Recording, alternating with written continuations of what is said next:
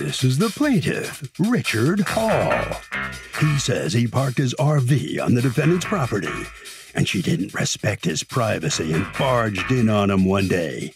He couldn't live there under those circumstances. Now the defendant won't pay him back all the money she owes him for rent paid and RV damage.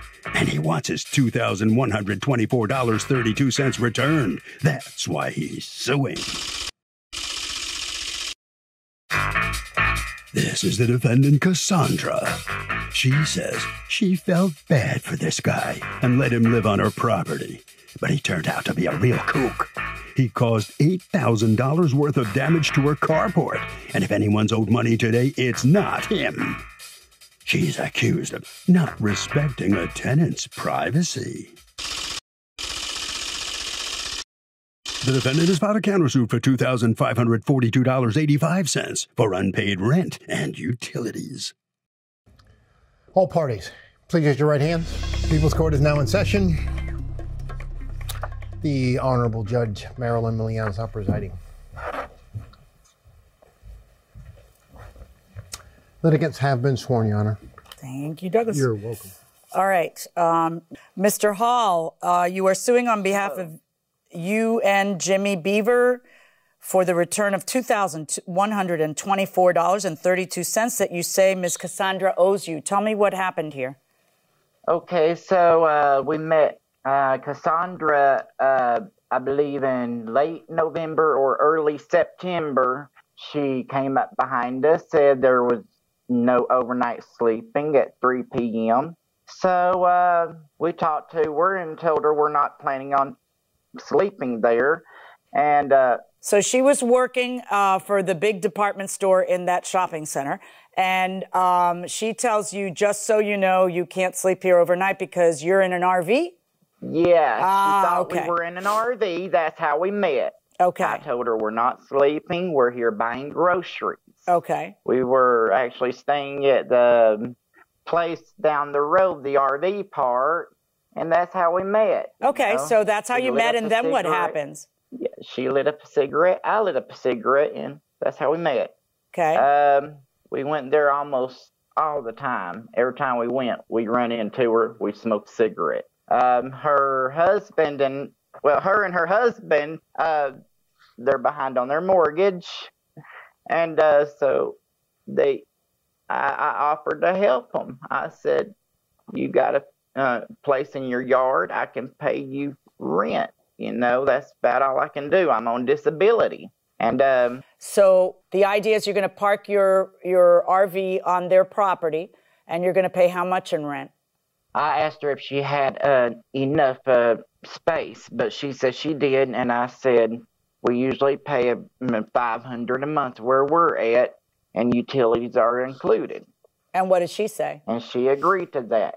So according to, you, the deal is 500 a month with utilities included. When do you take your RV over there? Um, I went over there to visit her a few times during September, but we really didn't move in until um, October the first, twenty twenty one. Okay, and how does it go? um, the next day, her friend was there visiting her, and um, she said that I needed to stop living off of Cassandra, and I needed to get out and get a job every single day, or every single day I needed to fill out job applications. Okay, so you have been wait. What's this living off Cassandra? You've been there one month, one day, and you're paying rent. Did you tell her that? Yes. All right. She said, well, Cassandra is also nice enough to let you come over here too. And I said, I was also nice enough to pay her five hundred dollars. Yeah, nobody's being nice. This is a business arrangement, so you're not. Nobody's fooling anybody. All right. So now, so what happens? What goes wrong? Why are you here? Tell me what happened that caused you to no longer want. You want a refund of October because you ended up leaving October 11th. So tell me what happened. After I sent her a text about what her friend said, she came storming in that night as soon as I gave her a text. And I should have talked to her about it. I should had. But you know, I have anxiety, and when I and when I feel like I, I when I feel like I, I disagree with something, it's hard for me to disagree with somebody and talk to them about it. Um, she came in without knocking, She was crying. She was so upset. She had her fist out and said she would knock me through my RV window. Well, what were the was the texts? What was the? Hold on, back up, that. back up. Let's find out what text you sent that made her go nuts like that. Um, not that there's Uh, ever a, a reason to, but I really it would was like on to the know. 2nd Mm-hmm. It was on the second. Okay, look, we paid rent. And I I better not hear lot. someone tell me I need to be getting a job again. When I came here, I only agreed to pay rent to keep my RV parked. I didn't agree to let you get all up in my business like the way you've been doing. If I'd have known it was going to be like this when we came, we would never have come in the first place. There is a line you don't cross when it comes to friendship, and real true friends know that. I am not saying we won't help you out when you ask because we have already agreed to help you out in exchange for showers and laundry.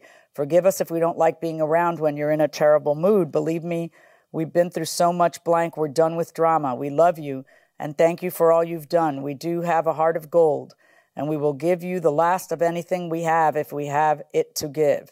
A lot of people takes our kindness for weakness, but we're also redneck blanks from the south. If you piss us off enough, I know you're wanting the best for us, but we're not used to people telling us what we need to be doing. Don't demand us to do what we don't want to do. Why are you saying all this about her? It was her friend who said it. She was in uh, in there in front of her. Oh, and I she was agreeing with Okay, her. all right. Let me ask you, Miss Cassandra, what was it that happened that, according to him, you walked in all loaded for bear? Um, so I ended up um, allowing them to use my car to go door dashing. Now, door dashing And means at that they're delivering food and getting paid a fee for doing that. So they used your car to do that. Yes, Okay, go on. yes. So at that point, um, they came in and um, they had thrown the check engine light on my car. So at that point, I did ask them. I was like, "Did you see that the check engine light was on on the car?" And they go, "No." So at that point, I was like, "Okay." I ended up going to bed, getting up the next morning, and I didn't sleep very well that night on the first.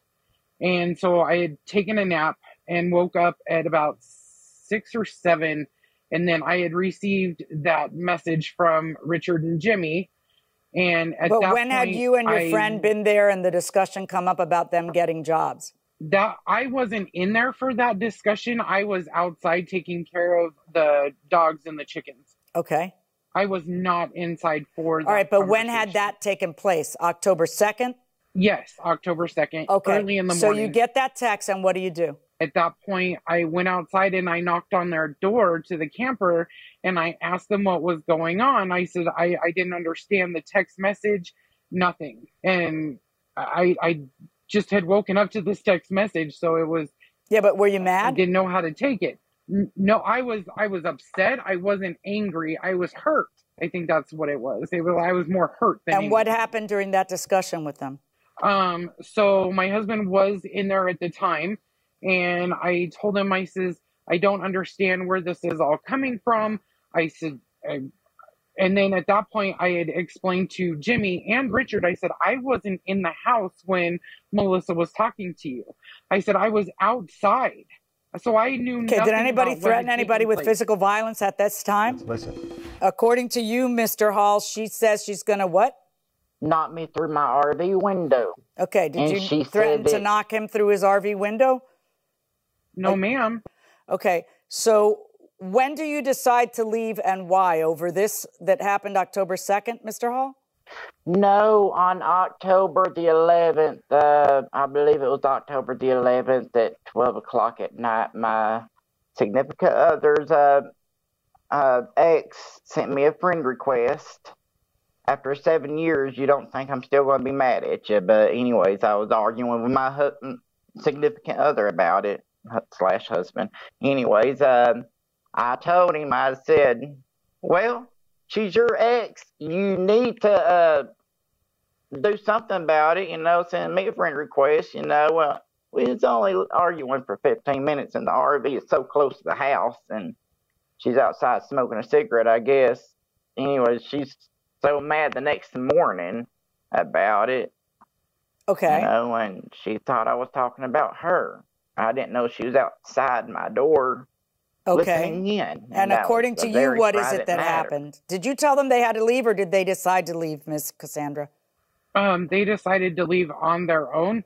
Nobody forced them to leave. Okay. Did you think that they were talking about you when there was an argument in the RV? Um, well, I had knocked on the door, and it was about 1:45 a.m. and they had woken up my son. And at that point, I knocked on the door to try to tell him to keep it down a little bit. And that was when Jimmy and Richard were arguing.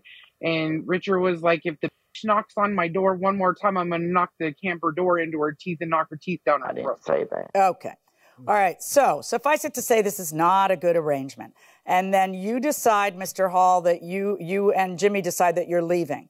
You leave on October 11th, so you want a refund of all of October rent. But if you chose to leave, why would should you be entitled to a refund of the rent? Um, she uh she was being mean uh, uh outside our RV, How? cussing me out and talking to my significant other about me, and I was afraid to go outside, Okay.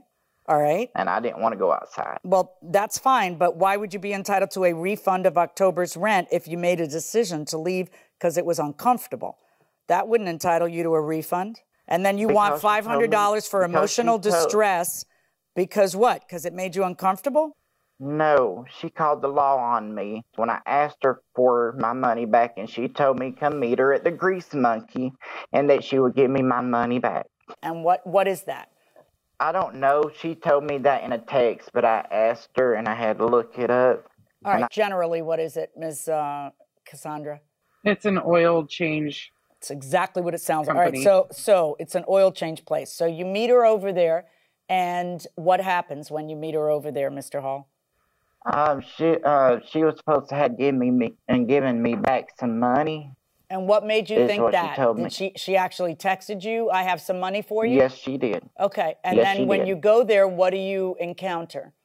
Um, I didn't get out the RV because I, at this point, I still didn't want to talk to her. Okay. She came to the door and she's talking to my significant other at the door. About five minutes later, the police came through. Did you think that there was a warrant out for one of them or something, Miss Cassandra? Why did you call the police to go out there? And why did you have them meet you there? the reason that I had called the police department was because I live in county and they're in city. So I had asked the police department to meet me at the Grease Monkey to give Richard his mail. I didn't have any other information other than to ask them if they could help exchange the mail so that and give Oh. Richard and Jimmy the notification do not contact me anymore because of the messages I had already received the phone call, multiple phone calls. Okay, but I'm not understanding. You're calling the police to go. You you call them and tell them to meet you.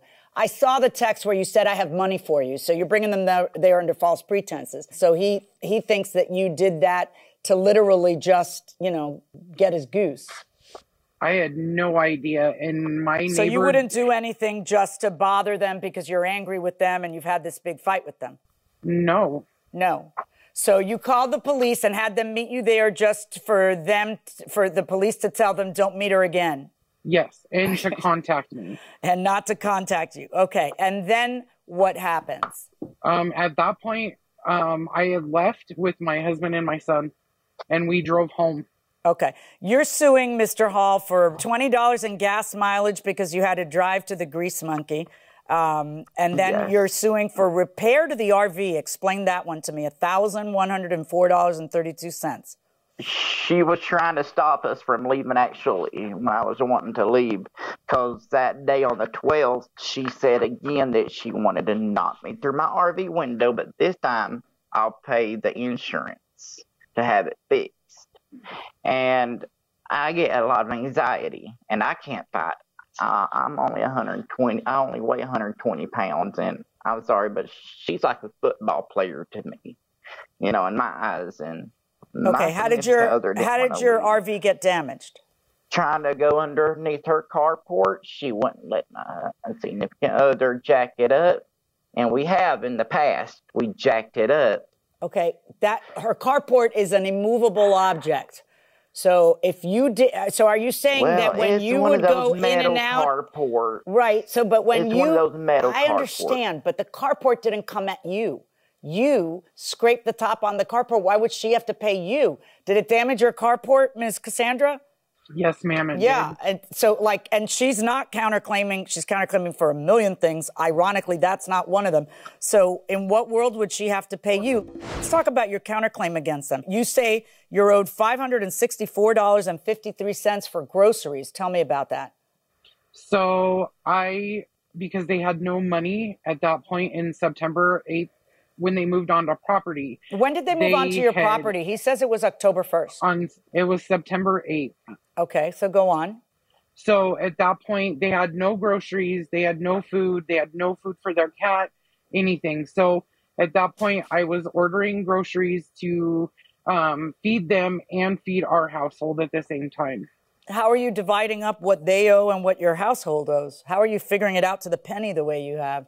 Um, because anything over an extra, like the Monster Energy drinks or the Starbucks energy drinks or the Powerade or the Gatorade or the yogurt that Richard had to have for his special diet or any of that is when I went through and calculated everything that was above and beyond what we normally. Okay. Did she buy groceries for you, Mr. Hall? No, Never. You never accepted any groceries? from her? never. Okay. Never. Now, the next thing she's suing for is septic pump dump. And do you have any proof of that, Ms. Uh, Cassandra? Do you have the receipts for that? I have those They're in my husband's bank account, and then what we Okay, I didn't need proof of it. Do you? I'm card- sorry. Stop. Stop. I need proof of that. So, do you? Do I? eh, Have you submitted your husband's bank account statement?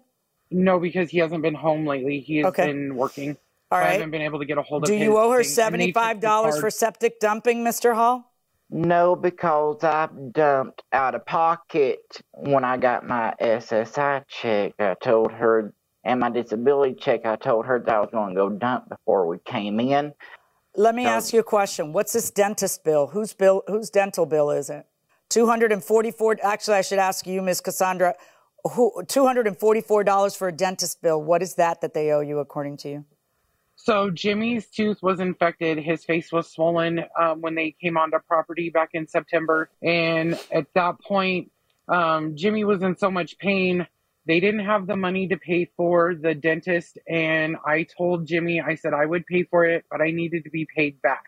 At that point, we got him in with my dentist, and the dentist pulled his tooth, and I paid the two hundred and forty-four dollars. And why is it that you and uh, well that Jimmy wouldn't owe that, Mr. Hall? You're here on behalf of Jimmy. Why wouldn't Jimmy owe that? Well, because we went to her mom's house for him to work it off when they had to bu- um, um, build the chicken coop for her two chickens. And, and why didn't she say anything about it when I asked her for my rent back? That's the only thing I can't prove. Well, there's a lot you can't prove. Um, did they work off the dental debt with a chicken coop at your mother's house? No, ma'am. There's a sentence I didn't There, ever absolutely. think I don't think was you've ever said say. anything like that ever. No. Okay. How are you going to prove that you did? You see how messy all this is? All right. Uh, now, what is all this you're suing for for repairs to your car? Because they used it one day for DoorDash? No, ma'am. They used it from September 8th when they moved onto property until about the first or second, because the first of October was when they threw the check engine light, and um, I told them they were no longer allowed to use the car. Okay. But why would they have to pay for four brand new tires and a camshaft position sensor repair? How old is your car? My car is the 2013. Okay. So, how are you going to prove that the repair is due to the way they drove for DoorDash? Um, because that was when they threw the check engine light on the 1st of October.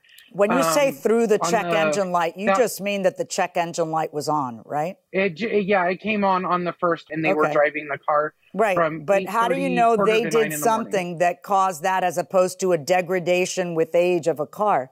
Um, because I had just actually fixed the camshaft position sensor. So, how do you know that the repair didn't fail as opposed to something else? The answer is you don't know. Let's go through these these ridiculous lawsuits. Let's get down to let's get down to the nitty gritty, which is you guys know each other what a couple of months, basically by sharing a cigarette in a mall, and then you decide that you're going to live inches away from each other, where every single intimate little thing that happens is in each other's grill. You know, maybe, maybe, maybe you don't decide to essentially be almost roommates with someone you know from sharing cigarettes in a parking lot. Maybe that's the plan. Um, you're not going to get October's rent back. You haven't proven emotional distress, Mr. Hall. Um, you don't get your gas mileage because you're mad you only got your mail and not money. And I do see that she lied about that to get you to go. And you most certainly don't get RV repair because when you pulled in and pulled out the RV, you end up scraping it on her roof. That's a you thing. The roof is an inanimate object. It didn't hit you, you hit it, the carport. Now let's talk about your counterclaim. The groceries you're you show all you've done to prove that is you've shown me grocery receipts. I have no idea if those gross if any portion of them went to him or didn't go to him. Uh, you don't have any proof on the septic. The dentist bill, um, you guys, Mr. Beaver is going to pay her because it is not typical that someone pay your dental bill for you and you not have to pay them back.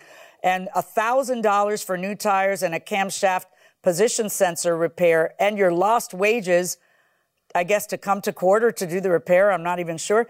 You don't get that. Uh, you're unable to, just because the light goes on while you've loaned them the car doesn't mean that the repair on a seven year old car is something that they have to pay for, especially if it's been a problem just two months earlier. So they do owe you $244 and you do not have to uh, return any of the money to them. Mr. Hall, on your law and Mr. Beaver's lawsuit against Ms. Cassandra, my verdict is zero. Ms. Cassandra, on your lawsuit against them, my verdict is against Mr. Beaver in the amount of the $244 for the dentist bill. Good luck, folks. Thank you. Richard, let me ask you how you feel about the outcome of the case. Well, I I don't think I was able to tell her exactly everything that happened that the day I left, so it's okay. Listen, the important thing is, what have you learned from this whole experience? Anything at all? Yeah, uh, don't go to someone else's house and pay rent on their property. All right. Well, it's been a tough experience for you. I'm sorry about that, but uh, that's the judge's decision, so you'll have to pass that word along. Uh, Cassandra, how about you? How do you feel? What have you learned from this whole thing? You and your husband. Not to trust people, and not everybody is who they claim to be. Well, look, you are going to get the money for that dental bill anyway, so good for you. And hope that'll end this dispute once and for all. Thank you. Well, that'll wrap up this case. Let's see what Harvey has to say. Doug, in this case, the defendant did not violate the plaintiff's privacy, according to the judge. When we talk about privacy, it's kind of a relative term. It really depends on all the circumstances. Here, they lived so close together that you don't have the same privacy expectation you might have when things are further apart. It is that simple.